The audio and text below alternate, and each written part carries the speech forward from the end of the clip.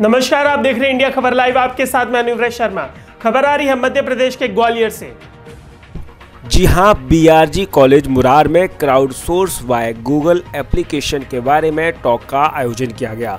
Influencer Govinda ने crowd source app के माध्यम से गूगल के प्रोडक्ट जैसे गूगल लेंस गूगल ट्रांसलेट इत्यादि को कैसे बेहतर बनाया जा सकता है, इसकी जानकारी उपस्थित छात्राओं को दी।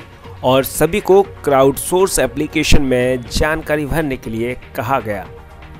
ग्वालियर से इंडिया खबर लाइव के लिए अनूप पांडे की एक रिपोर्ट।